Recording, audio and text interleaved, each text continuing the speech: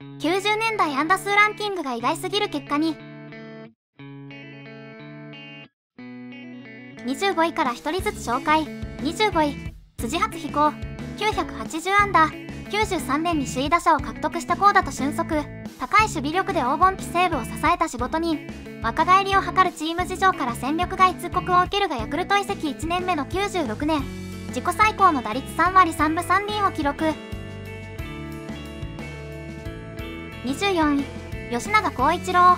983安打松井も驚嘆した。柔らかさと豪快さが同居する芸術的打撃を見せた実写版。左門豊作97年には30本確実なペースで本塁打を量産したが失速。高能ゲームで30号が消え結局打てなかった。23位落合博満。989安打。90年代に入り次第に三冠王を狙える成績ではなくなっていったが4番としての存在感は見せつけ続けた。FA で移籍した巨人では2度のリーグ優勝と1度の日本一に貢献し憧れの長嶋監督を胴上げした。22河合正宏992安打。2番ショートを主戦場に GG 賞を5回獲得した堅い守りとチーム打撃で巨人を支えた。10年間で7度のリーグ最多犠打をマークし98年には通算452犠打のプロ野球新記録を樹立したバントの神様。21江藤明。1014本。美しい放物線を描く本塁打を量産した90年代セ・リーグを代表する和製大砲。96年イレギュラーした打球を目に当てていこう。やや成績を落としたのが悔やまれる。20位広沢克実1016安打4番打者として2度の打点を獲得と9293年のヤクルトリーグ連覇。日本一に貢献。FA で巨人に移籍するがヤクルト時代ほどの活躍は見られず高橋の加入によりレギュラーの座を失う。99年オフに巨人を自由契約となりかつての女子野村監督に頭を下げ阪神に入団した。正直ランキングの予想が全くつかん。立浪さんトップ3に入ってそう。19位小川博文。1017安打。勝負強さとパンチ力を兼ね備えた打撃定評があったバント技術でオーギオリックスの連覇に貢献した。内野ならどこでも守れ。打つ方でも全打順本塁打を達成するなど高いユーティリティ性が武器であった。小林オマリーの14球。はこの人の9回完封で日本一目前のヤクルト川崎から放った同点本塁打によって生まれた。18位飯田哲也。1025安打。抜群の身体能力を誇った野村ヤクルトの1番バッター。92年には盗塁王を獲得した。91年にセンターに固定されると驚異的な守備能力を見せそこから7年連続でゴールデングラブ賞を受賞。筋肉番付系番組の常連としても知られケイン小杉にショットガンタッチのコツを伝授し2位に導いた実績もある。17位正田幸三。1048安打。80年代に2年連続首位打者を獲得したスイッチヒッター。90年代に入り主に2番セカンドを務めた。練習の鬼として知られ晩年でも当時球界屈指の練習量だった船本や尾形に負けない数のスイングをこなしていたという。9697年と2年連続で打率2割5分を下回る不振に陥るも98年に2割7分4厘と復調。しかし更新に道を譲りこの年限りで引退。16位石井拓郎。1057安打。92年野手転向1年目にして打率2割6分3厘をマークし素質の高さを見せつけると翌年にはスタメン定着し盗塁王を獲得。93年から3年間はサードとしてゴールデングラブ賞賞を受賞する守備の硬さも見せていたが大谷監督が就任した96年にはショートへコンバート98年には選手会長に就任し横浜マシンガン打線の切り込み隊長として活躍するとともにショートでのゴールデングラブ賞も受賞した。ドラフト外で投手入団から迷宮会入りした化け物石井拓郎。15位池山隆弘1058安打。三振を恐れない豪快なスイングからブンブン丸の愛称で親しまれ92年まで5年連続30本塁打をマーク。90年に就任した野村監督からフルスイングを避けるように言われ葛藤したがこの年は唯一の打率3割を記録した。同時期に共に主軸を張った広沢とは講師どもに親しく池虎コンビと呼ばれヤクルト人気の向上に寄与した。14位初芝清1086安打90年にレギュラーをつかむとグラウンド内外で見せるパフォーマンスを披露し幕張のファンタジスタの愛称でファンに親しまれた。95年には打率3割と打点王のタイトル両方を狙い両立するには最終打席で本塁打しかないという状況に追い込まれたがこの難題を見事にクリアしてみせた。勝負強い打撃と長打力。さらに愛されるキャラクターで90年代ロッテを沸かせたスター選手である。13位堀光一。1096安打。91年にレギュラーに決着。初芝小宮山と共に90年代ロッテの主力としてチームを引っ張った。バレンタイン監督に太平洋一のライトヒッティングと称された打撃技術でヒットを積み重ねた。バッテリー以外全てのポジションを経験し全打順本塁打も達成した万能プレイヤーである。黒男好みの渋い選手ばっかやな。堀はスカウトが特に能力はなかったが性格がプロ選手向きだったから取った。って言うてたが大正解だったな。12位ロバート・ローズ。1107安打球団名が横浜ベイスターズに変わった93年に入団。安定した活躍を続け横浜史上最高の外国人選手との呼び声も高い。毎年3割20本塁打前後の成績を残していたが99年に突如3割6分9厘37本塁打153打点の大爆発。11位イチロー1125安打。扇新監督の提案で鈴木一郎からイチローに登録名を変更した94年。プロ野球新記録の210安打を放ち社会現象を巻き起こす。95年開幕前に発生した阪神・淡路大震災からの復興を目指す神戸のシンボル的存在としてオリックスの連覇を牽引。3年連続 MVP を獲得したその後も渡米するまで首位打者の座を譲らなかったほか数限りない記録を打ち立て続けたレジェンドプレイヤー。期間ほぼ半分でここに食い込んでるイチローとかいう化け物一郎ゴルコロってパ・リーグの首位打者予想が意味をなしてなかったな。バケモン10位前田智則1135安打高卒2年目の91年にレギュラーをつかんで優勝に貢献。外野手としては史上最年少ゴールデングラブ賞を獲得した走攻士3拍子揃ったプレイヤーであった。翌年には打率3割8厘。19本塁打89打点をマークし3番打者に定着。以降規定打席で3割を打ち続ける。95年右アキレス腱を断裂する大怪我で翌年以降プレーに大きく影響を及ぼすようになってしまったが変わらぬ水準の打撃成績を残し続けた。数々の球界関係者が絶賛した打撃技術と強烈な個性で多くのファンを魅了してきた孤高の天才打者である。9位清原和博1140安打黄金期西部の4番に君臨。90年には自己最高の37本塁打をマークし当時の史上最年少23歳で年俸1億円を突破した野茂谷イラブとの名勝負をはじめパ・リーグの注目度向上に大きく貢献してきたが96年オフ。幼少時代からの憧れである巨人に移籍。西武時代には大きな離脱はなかったのであるが移籍後は故障の連続。また期待の大きさから激しいバッシングに見舞われることになる。30本前後の本塁打を放ち続けながら育成失敗論が出るのはこの人くらいのものでそれだけ周囲の期待が非常に高かったことの裏返しなのである。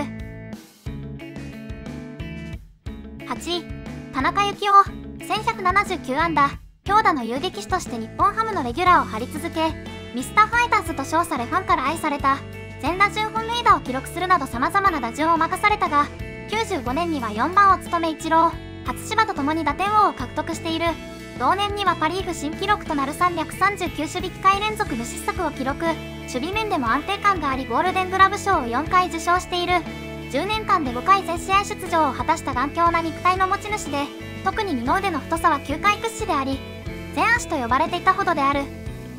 試合に出続けることってすごいな。7位佐々木誠。1189安打南海末期にレギュラーをつかみ91年に初の3割をマークすると翌年には首位打者と盗塁王を獲得。この2年間はリーグ最多安打も記録している。日米野球でも活躍し秋山と共にメジャーに最も近い男と評された走行士3拍子揃った名外野手であった。その秋山らとの世紀のトレードと言われた大型トレードにより西武移籍すると故障と戦いながら上昇球団で優勝に貢献。99年に金銭トレードで阪神移籍。往年の活躍は見られなかったがルッキー上原初登板試合で決勝打を放つ意地を見せた。6位秋山浩二。1202安打。90年に史上初の本塁打王受賞経験者による盗塁王となるなど超人的な身体能力で黄金期西部の3番センターを定位置に活躍していた93年オフ大型トレードで大英移籍すると負け犬根性がはびこっていたチームを背中で引っ張り後の強豪ホークスを支える選手たちが育っていった。99年から大英の初代首相に就任。数字的には全盛時と比べれば落ちていたが精神的支柱として大英初の優勝。日本一に貢献。この年の日本シリーズでは伝説の三角飛びキャッチを見せるなど攻守に活躍。史上最年長及び史上初の2球団での日本シリーズ MVP 受賞を果たした。だから佐々木と秋山のトレードは等価交換って言われたんだよな。この2人だけならまだしも大英は当時のエース村田と西武移籍後リリーフエースになった橋本。西武は92年最優秀防御率の渡辺聡と前年31登板で防御率3.01の内山。ガチの主力3人同士交換トレードやったからな。5位古田津也1283安打入団当初の90年から正捕手に据えられリーグ1位の盗塁阻止率をマックしいきなりゴールデングラブ賞を受賞。後に単連と通算の両方で盗塁阻止率歴代1位を記録した名捕手。1年目の打撃成績は打率2割5分。3本塁打と平凡であったがマスク越しに落合の打撃を見て研究したという成果が出て翌年にはその落合に競り勝ち首位打者を獲得。さらに92年には3割30本塁打をマークしヤクルト14年ぶりの優勝に貢献すると黄金時代を迎えたチームの名実ともに主役と言えるプレイヤーになった。相手打者に投手よりも古田を意識させる圧倒的な存在感で球界の頭脳と称されるなど90年代プロ野球の顔と言っても過言ではない偉大な選手である。古田すげえな。当時は相手チームはヤクルトとではなく古田と戦ってた。古田って今なら年俸7億でも安いな。4位立浪和義。